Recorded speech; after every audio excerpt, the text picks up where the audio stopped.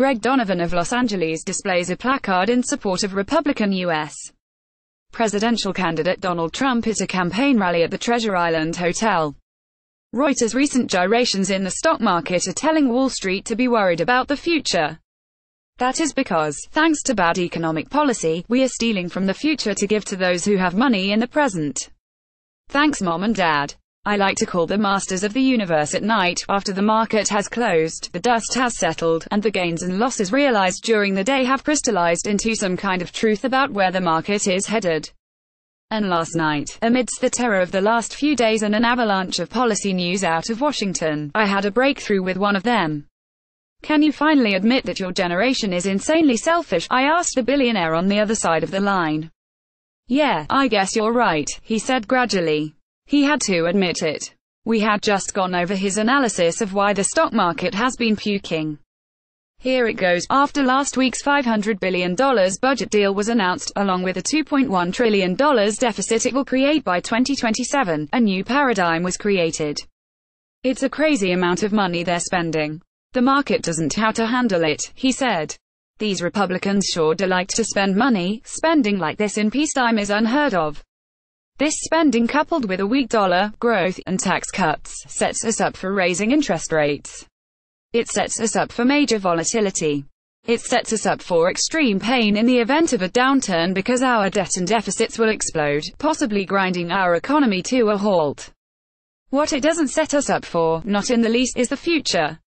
And that is why baby boomers are the most selfish generation. More fun news from Washington. Now that we're looking at the budget, it turns out this tax cut is going to cost us more than we thought. From the Washington Post, the budget projects that tax receipts will be $314 billion lower in 2018 than it forecast last year and almost $400 billion lower in 2019. The White House even projects that tax receipts will be $200 billion lower in 2027 than forecast last year, even though it had promised that the plan would why pay for itself by then. Of course, this is with the completely unreasonable growth projections of 8 years of 3% GDP growth with only mild inflation and just two recession years. Any economist will tell you it's the height of delusion, and it's also this generation can sack the future to ensure that those who already have, have even more in the present. Everything your parents, especially the Republican ones, told you about fiscal responsibility was a convenient lie. Millennials, go buy yourselves some Supreme on eBay, treat yourself to all the avocado toast you can find, go cop all the sneakers you desire. Nothing matters. If there is a future we'll be broke in it anyway. You see, what my source fears, and what the market now has to factor into its great collective consciousness, is something like what happens when you give a five-year-old all the candy in the world and then try to figure out when they'll pass out after the sugar rush. This is what the market is in the process of trying to come to grips with, the fact that we foolishly, selfishly, recklessly set ourselves up for a moment when we will, eventually, crash.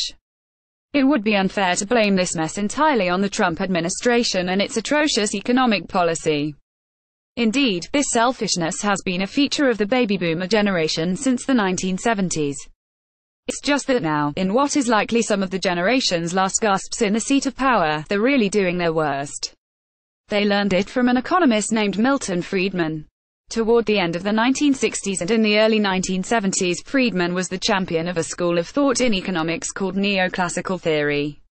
According to this theory, every human action is motivated by selfishness. As such, all humans can be motivated into doing anything as long as there is an economic incentive for it.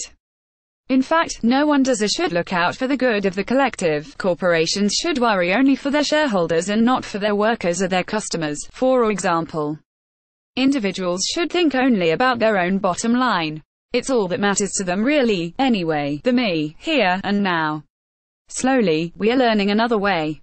Behavioral economists like Richard Thaler, who won the Nobel Prize in Economics last year, see humans differently and are slowly convincing the world that this highly logical selfishness is not what motivates humans. Instead, they say we are predictably irrational creatures who sometimes value values over dollars. It's a nice way to think about individuals, it's an even better way to make policy for society. It's like something Bill Clinton referred to it in his acceptance speech for the Democratic Party's presidential nomination in July 1992, America was the greatest nation in history because our people had always believed in two things, that tomorrow can be better than today and that every one of us has a personal moral responsibility to make it so. Of all the things that then Republican President George Bush has ever said that I disagree with, perhaps the thing that bothers me most is how he derides and degrades the American tradition of seeing and seeking a better future. He mocks it as a vision thing. It isn't vision Bush was mocking, it was the future.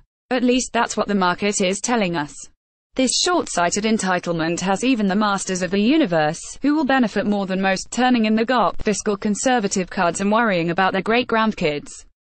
And they should do all those things. We've been saying that baby boomers are the most selfish generation for some time. Now do you believe us?